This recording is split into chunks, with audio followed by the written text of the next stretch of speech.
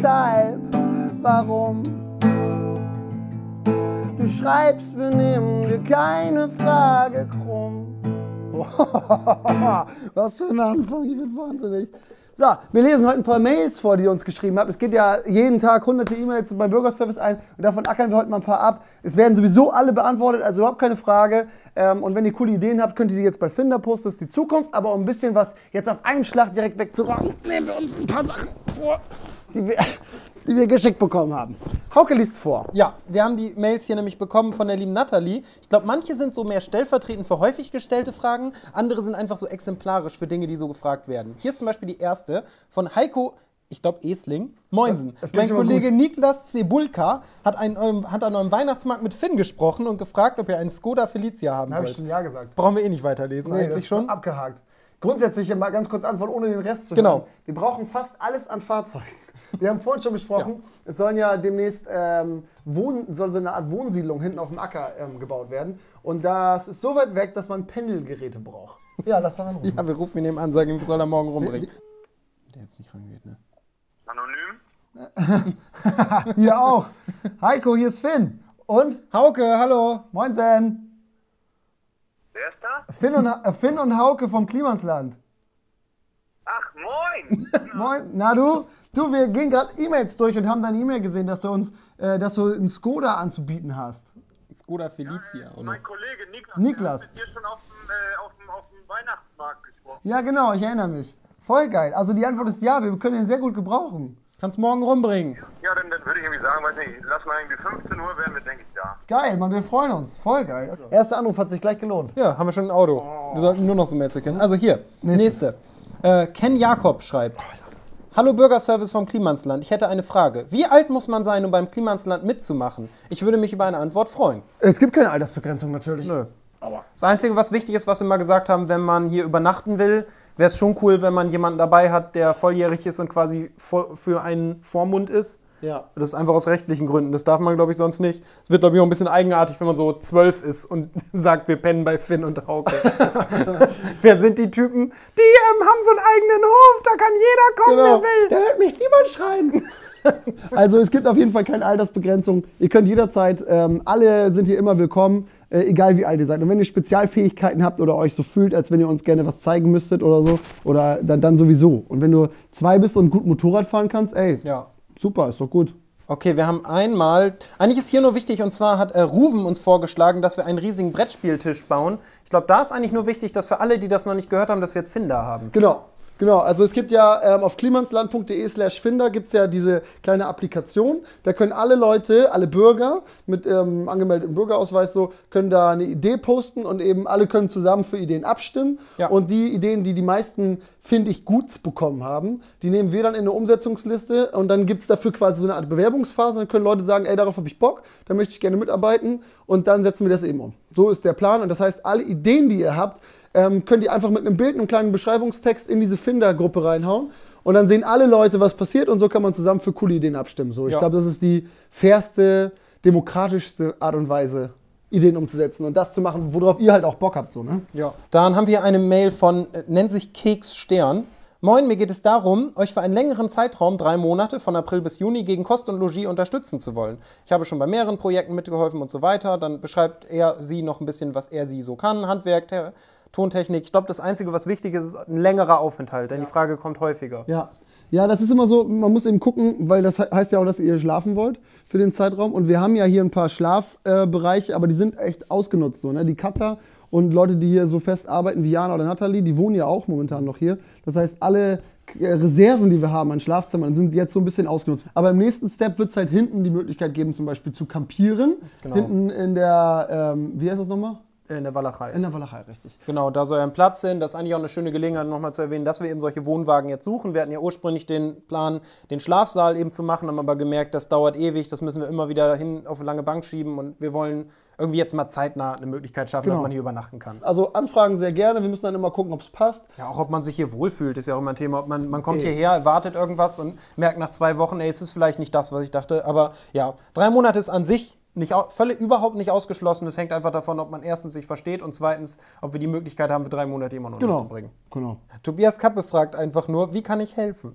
Das ist halt eigentlich eine gute Frage. Ja, das stimmt. Weil im Moment ist ja so, auch das greift wieder so ein bisschen in den Finder, dass es so ist, dass wir jetzt immer mehr und mehr wirklich gezielt durch die Mails gehen, Leute anschreiben und sagen, weiß nicht, jetzt zum Beispiel wollen wir unten die Räume renovieren, damit wir dieses Ja. Café mal voranbringen können. Dann draußen Projekte und so. Und es kommt jetzt, passiert immer mehr und mehr. Ich meine, jeder, der den Weihnachtsmarkt gesehen hat, hat gesehen, da waren 80 bis 100 Leute Ja. hier. Die haben wir alle einfach angeschrieben, gesagt, habt ihr Bock zu kommen? Und das war auch nicht so, wir suchen nur Leute aus der Umgebung. Da war Fabian, der war aus, äh, irgendwie aus Österreich hier komplett und so. Wir gehen einfach die Mails durch, schreiben euch an, habt ihr Bock? Und es sind nur so extrem viele Leute, die was machen wollen, dass es vielleicht manchen so vorkommt, als wenn man Ja. keine Chance hat. Aber letztlich ist auch so, dass wir auf so Einzelfeedback versuchen einzugehen. Es ist nur so viel. Ja. Hier ist noch eine sehr spannende, und zwar aus aktuellem Anlass. Angelina Dräger, Angelina, ich kann es, man weiß immer nicht. Ähm, mein Name ist Angelina, ich bin 21, momentan lebe ich in München und arbeite als Logistik-Projektmanagerin. Ich überspringe mal einen Teil und zwar, um zum Punkt zu kommen, würde ich eine kleine Kaffee-Klatsch-Kuschelecke als Idee einbringen. Und dann überspringe ich wieder einen ganzen Teil und am Ende sagt sie nämlich, dass sie voll gerne helfen würde mit Umbauen, Putzen, Planen, Streichen, Kochen, Einkaufen. Und das ist ja gerade ein Thema. Eigentlich Ja. eine gute Mail. Kann ich direkt an Kim geben Voll. und sagen, lad mal Angelina ein, Angelina. Also unser. Plan ist nämlich jetzt unten, das kann man ja schon mal vorweg sagen, Ja, ihr seid ja sowieso eh integriert in alles. Ja. Auch äh, wenn ihr uns auf Instagram oder so folgt und bei mir bei Snapchat gibt es den Kram auch so. Da gibt es immer so äh, direkt Live-Updates von den Tagen. Hier gibt es immer Stories, die man sich dazu angucken kann. Und ähm, ein Restaurant, beziehungsweise im ersten Step erstmal so ein kleines Café, ist eine Sache, die wir definitiv angehen werden. Unten in der jetzigen Bar soll ein Café gebaut werden. So. Und das werden wir umbauen und da brauchen wir letztlich dann ja auch Leute, ähm, die Kuchen machen und die da arbeiten und so. Und das, das sind auch alles nächste Schritte, weil das sind ja auch alles Leute aus der Community. Wichtig ist halt, dass das vor allem für jedermann sein soll. Ne? Dieses Café Genau. ist dann offen. Man kann da hinkommen Ja. und wenn man uns besucht, kann man in dieses Café gehen. Schönen Kuchen. Torte, soll ich auch mal eine machen? Oh, bitte nicht. ja, dann ist hier Rattenjotti. Rattenjotti schreibt: Moin, ich konnte mit meiner Google-Suche rausfinden, wo euer interessantes Projekt entsteht. Vielleicht sollte man die alte Internetpräsenz lüttenshof.de verschwinden lassen. Äh, ist, glaube ich, weil da kommen echt noch viele Mails, Ehrlich? weil wir in den ersten Videos halt Ja. sagen, es sei geheim und die Leute Ja. haben dann noch nicht weitergeguckt und Ja. denken, okay, ich habe es schon rausgefunden. Es ist nicht mehr geheim, wo dieser Hof ist. Es ist in der Eichenstraße 14 in Elsdorf-Rüspel. Genau. Kann man mit fünf Sekunden Google-Search finden. Ähm, wenn ihr vorbeikommen wollt, denn da sind auch eine ganze Menge Mails von, meldet euch eben einmal kurz. Schreibt uns eine Mail, schreibt auf Facebook, völlig egal. Nur Ja. lasst uns einmal kurz wissen, dass ihr rumkommen wollt, weil manchmal ist hier auch was los. Ey, heute war zum Beispiel der absolut räudigste Scheißtag hinten im Matsch und so, deswegen sehe ich auch so aus. Es wäre nicht so der beste Besuchstag gewesen. Weil sowieso keine Zeit gehabt. Man wäre halt voll enttäuscht gewesen, Genau. hätte dann irgendwie fünf Sekunden, hätte sich jemand um einen gekümmert und danach hätte man nicht so richtig gewusst, wohin mit einem, weil das Wetter scheiße war, Richtig. drinnen konnte man nichts machen. Naja, und weil man eben auch ein bisschen koordinieren muss. Also, Ja. keine Ahnung, wenn wir hier mittags was essen oder so, dann seid ihr natürlich herzlich eingeladen, irgendwie auch mal mitzufuttern und so. Dann haben wir zu wenig und all so Sachen. Also, je nachdem, man muss immer so ein bisschen planen, dass wir hier nicht untergehen. Äh, und wenn hier 200 Besucher sind oder so, dann kann man eben auch nicht mehr richtig arbeiten. So. Und das muss man immer vorher ein bisschen planen. Hier ist noch eine Supermail, da können wir anrufen. Der Betreff ist, ah, nee, Talent ist zwei Physiotherapeuten im Gepäck, kochen, malen mit sämtlicher Tierkacke, sehr gut umgehen, sehr komplett in Caps Lock. ähm, und sie schreibt, ich als gute Seele unserer Dreiergruppe werde mich mal im Namen meiner zwei Superfans, äh, wende mich im Namen doch meiner zwei Superfans an euch. Meine zwei Männer, äh, Max und Jakob, sind peinlich riesige Fans von der Idee des Klimanslandes. Allerdings zieren sie sich, und ich überspringe mal ein bisschen was, dann kommt noch, äh, dass die beiden Physiotherapeuten sind, sehr gerne Menschen anfassen. äh, die beiden aber eigentlich beide Tischler oder Kreatives. Sie malt auch noch und so. Wollen wir die mal anrufen? Voll geil, können wir machen. Ja. Können wir Guten. Tag, Sie sind verbunden mit der Vodafone Tja. Mailbox von Sprechen wir jetzt drauf? Tja, Arne, das wär's gewesen, war. Das wäre geil, wenn wir jetzt auflegen würden. hier, hier ist Finn und ähm, Hauke. Wir wollten euch eigentlich ganz gerne mal ins Klimasland einladen. Dich und deine zwei Psy Psycho, Psycho-Boys. Nein, denn zwei Psychokneter. Kannst du eigentlich massieren, Hauke? ja, dich nicht. Nein, aber also kannst du das jemandem beibringen? Weil ich würde das gerne lernen. Wenn ich das so könnte. Das sind Physiotherapeuten, die könnten dir das beibringen. Meine ich doch. Dreiergruppe, auch Dreier groß geschrieben. Ne? Ja, Dreier groß geschrieben und sehr gut mit Kacke umgehen, hat sie groß Hast du groß geschrieben? Kacke haben wir hier noch eine Menge. Ja, ey, ihr drei seid herzlich willkommen. Kommt doch einfach mal rum, meldet euch einfach. Ähm, wir schreiben euch auch noch mal eine Mail zurück. Und dann, äh, würden wir, dann würden wir uns freuen, wenn ihr mal rumguckt. Antworte den einfach jetzt. Ja, ja, genau. Ich leg jetzt auf. Warte mal, ich versuche das mal. Wie kriege ich das denn? Tschüss. ähm, äh, euch noch einen schönen Sonntag. Andi, warte mal, heute ist Freitag. Heute ist Freitag. Tschüss. Jeden Tag Wochenende.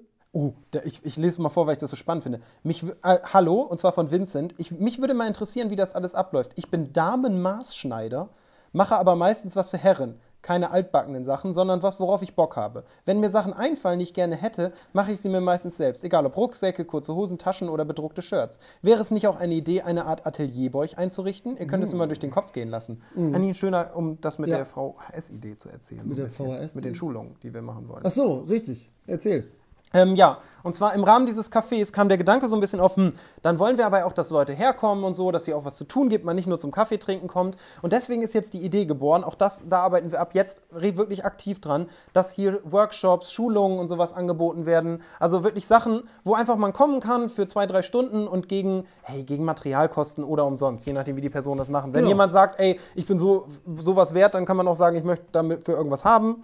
Kriegen wir schnell. Am liebsten ist die Idee aber eben so günstig, wie es irgendwie geht, so vielen Leuten, wie es irgendwie geht, was Cooles beibringen. Genau. Und wir wollen dann Kurse anbieten und genau dafür suchen wir jetzt auch wieder Leute, denn wenn ihr sagt, ich bin zum Beispiel Damenmaßschneider, so wie Vincent, Das war, ich billig den Kurs sofort. ja, Alter. ich auch. Hab voll Bock. Ey, sofort. Sag, was du dafür brauchst. Ja. Komm rum, Vincent, ey, und wir bieten einen Kurs an, das wäre der Shit. Und man kann halt irgendwie bei dir sich selber eine Hose schneidern Ja. oder eine Jacke oder irgendeine Kleinigkeit, weil ich finde das mega spannend. Hier wird es alles Mögliche an coolen Sachen geben, glaube ich. Ja. Und Mucke ist halt auch ein großes Thema, finde ich. Wie produziert man Musik? Das hat man in den Videos auch schon. Das müssen wir auch ein bisschen kanalisieren. Also, dass wir das Studio mit ein paar Leuten belegen ähm, und mal gucken, wie man einen Song produziert. Ich glaube, da lerne ich am meisten, ehrlich gesagt. Gute Überleitung, denn äh, Sönke Jansen Siggedi hat geschrieben, ähm, wird gern Schlagzeug, äh, Schlagze Schlagzeugcover auf dem Hof aufnehmen oder so. Und das ist ja, wir Ist kriegen das, aber Schla äh, Schlagzeug, also will der irgendwen wegmuxen oder will der Musik machen? gute, gute Weiß ich nicht, wenn er das so geschrieben Es hat. steht hier Musik machen, dumm dastehen. Okay, gut. Schrägstrich dumm dastehen. Ach ja, das ist ja genau. Äh, aber ist auch ein ganz wichtiger Punkt, denn wir fangen ja jetzt an, diese Musikmails durchzugehen Ja. und wirklich Leute gezielt einzuladen und zu sagen, ey, das haut hin. Denn es sind immer noch sehr viele Anfragen auch dabei, kann ich mein ganzes Album bei euch machen? Und Schwierig sitzt da jemand mal. daneben, ja, wer soll das machen? Ne? Genau. Also wer setzt sich hier hin und sitzt über Wochen mit einer Person oder mit einer nicht. Band im Studio? Genau, wie sollen wir das leisten? Ja, ich meine, das wisst ihr wahrscheinlich auch, wenn ihr Mucke macht, so irgendwie Mastering für so ein Album ist nicht mal eben gemacht und genauso Musik aufnehmen, dass da gehen Tage rein so und wir müssen ein bisschen gucken. Der Raum ist eigentlich ähm, einmal für Vertonung von unseren eigenen Videos und gleichzeitig aber auch natürlich zum Produzieren von Musik, aber dann eher so vom Recorden von Skizzen. Genau, aber das muss man dann sehen. Also wir gehen die E-Mails jetzt durch und haben da schon viele interessante ähm, Mucker gefunden, so, die wir auf jeden Fall mal einladen werden und daraus dann so Sessions zu machen. Aber da ging es jetzt ja speziell auch um Covershooting, oder? Oder Ja, irgendwie so, ich weiß es nicht genau. Hier steht nur ein, Sch ein Schlagzeugcover auf dem Hof aufnehmen oder so. Aber Also steht ja Musik machen.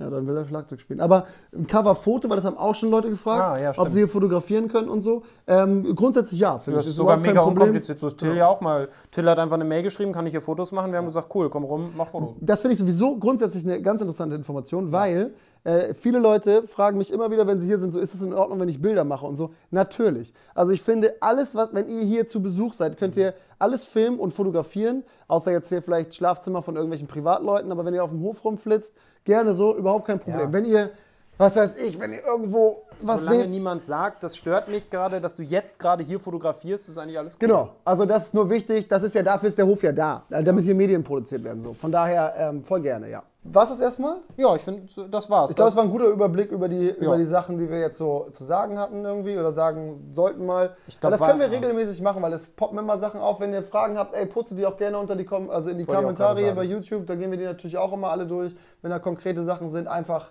einfach fragen, ne? Dann können wir gucken, ob wir sowas regelmäßig machen, mal so ein kurzes Video. Ja, je nachdem, wie es euch gefällt. Halt. Ja. Vielleicht genau. wisst ihr die ganze Scheiße auch schon, dann können wir es lassen. Können wir uns das sparen und weiter Sachen unter unseren Pullover stopfen. Findest du, dass das aussieht, als wenn das mein normaler Bauch wäre? Ja.